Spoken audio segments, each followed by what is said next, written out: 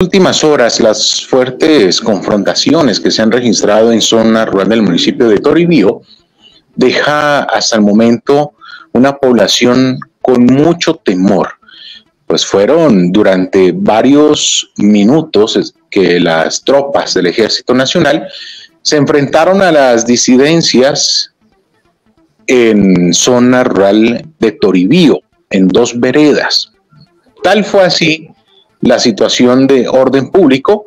que se suspendieron algunas actividades académicas que hasta ahora se desarrollaban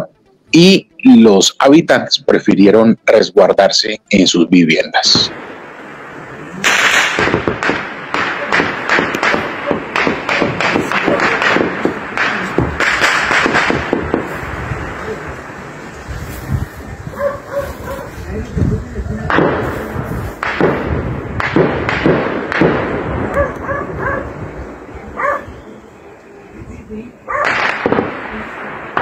Momentos de pánico, temor, terror sintieron los habitantes de las veredas San Diego y La Cruz,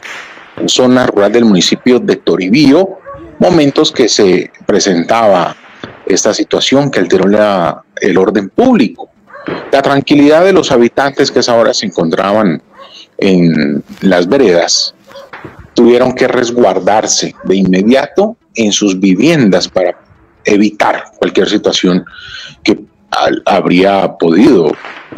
desenlazarse con la muerte de un civil o de un niño, un menor de edad que a esa hora se encontraba en las calles de las veredas. Fue tal el ataque o la confrontación mejor que muchas actividades que a esa hora se desarrollaban normalmente tuvieron que suspenderse.